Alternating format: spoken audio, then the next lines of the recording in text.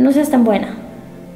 Qué bueno que quieras ser linda, pero nunca te pases de buena. Porque al principio es, ay, qué linda. Con el pasar del tiempo se convierte en tu obligación ser así. O sea, llega el día que, que por una u otra razón no puedes, no quieres o ya no debes ceder a algunas cosas, pierdes el derecho a molestarte o enojarte. Terminas siendo como la peor persona del mundo y esa persona te lo va a recriminar toda la vida.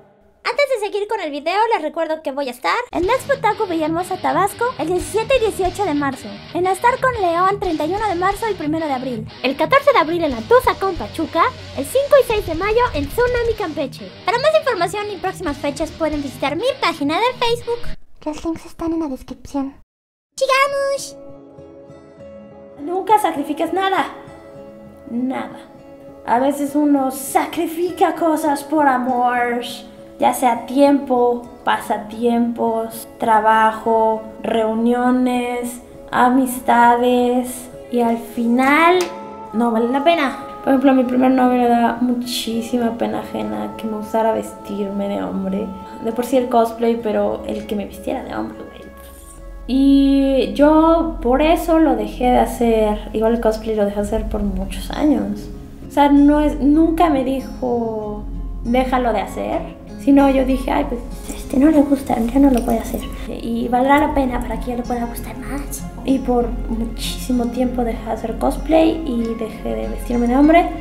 Dije, no, sí, yo sé que puedo cambiar esto. Es, es una fase. Al final yo no cambié. Y bueno, hoy en día soy el rey del travestismo. Mucha honra. Y no valió la pena. Y desperdicié años de mi vida de ser feliz. O sea, porque me, me o sea, todos los días soy Grecia. Obviamente hay días que no, no quiero ser yo. Ay, quiero ser lo que sea. Es un ejemplo muy tonto, pero eh, ni las cosas más pequeñas valen la pena sacrificar. Aunque lo hagas de corazón. Qué lindo que lo hagas de corazón, pero no vale la pena. Y después de unos años es por eso que, que uno agarra coraje, porque dices, ¡ah, yo tanto que hice! Y no le puedo agradecer. No, no, tal vez en su momento lo agradece. No, vale la pena, no vale la pena. No lo hagan, no. Y con esto igual doy paso a mi siguiente consejo.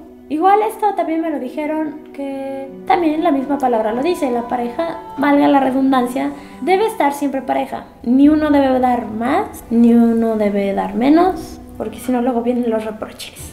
Es que yo di más, yo di más amor, yo di más dinero, yo di más comprensión y ternura. Obviamente no todo el tiempo puede estar eh, equilibrado. Lógicamente no todo el tiempo debe estar así, ¿no? 100% equilibrado, o sea, siempre va, va, a estar así, ¿no? Pero tampoco te pases. Igual esto lo dije en el video de la soltería, eh, recapitulando. Guarda con ternura los momentos bonitos que pasaste con alguien o que estás pasando con alguien. Es difícil, pero sin rencor tampoco olvides lo malo. Eh, si no, uno pasa por alto cosas o te llenas de odio innecesario. Es difícil, es difícil, pero es más sano. Mantén distancia con tu ex, porque inconscientemente o conscientemente los dos empiezan con esta absurda pelea de a ver quién, quién ha superado más al otro y quién ha hecho más cosas y quién ha mejorado más. Y es una riña muy idiota.